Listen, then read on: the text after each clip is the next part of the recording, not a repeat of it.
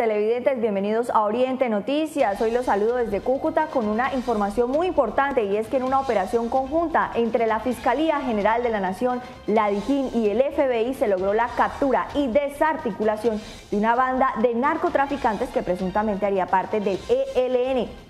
En estos momentos vamos a iniciar nuestro recorrido por las diferentes zonas de norte de Santander y vamos a iniciar con Ocaña porque nuestra compañera Tatiana García nos tiene la información de lo que está sucediendo en este lugar. Tatiana, muy buenos días. ¿Cuántas personas fueron capturadas? Así es, muy buenos días. Pues miren, en total fueron tres las personas capturadas, quienes serían presuntos integrantes del ELN. Las personas capturadas son solicitadas en extradición por el delito de narcotráfico. Según la investigación adelantada, los presuntos integrantes del ELN manejarían el negocio del narcotráfico de esa organización en norte de Santander y coordinarían la venta de estupefacientes a nivel internacional. Los detenidos son José Gabriel Álvarez Ortiz, operador logístico, encargado de coordinar reuniones entre organizaciones delincuenciales transnacionales para vender cocaína. Fue capturado en Ocaña, norte de Santander.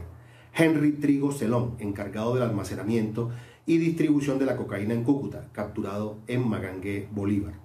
Yamid Picón Rodríguez, alias Choncha, cabecilla financiero del Frente de Guerra Nororiental, área Magdalena, fue notificado en la estación de policía de Pidecuesta, Santander, toda vez que estaba detenido por rebelión, lavado de activos y concierto para delinquir por una investigación en Colombia la forma como enviarían la droga por tierra a Venezuela y el posible uso de pistas clandestinas para cargar aviones con rumbo a ciudades costeras sobre el Golfo de México en los Estados Unidos hace parte del reporte de la investigación. Investigadores en forma encubierta se hicieron pasar por narcotraficantes para realizar compras vigiladas y conocer cómo la droga era enviada a Venezuela y desde allí en aviones a ciudades en el Golfo de México en los Estados Unidos.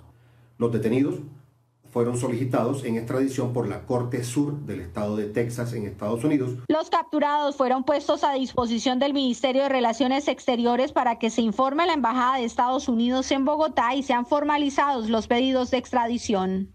Y es que frente a estos hechos, la guerrilla del ELN en las últimas horas se ha referido a través de un comunicado de prensa donde señalan que las personas indicadas no hacen parte de las filas de esta organización y que por lo tanto nada los compromete con estas personas y sus actividades. Esta ha sido entonces toda la información desde el municipio de Ocaña. Tatiana García para Oriente Noticias, estamos informando.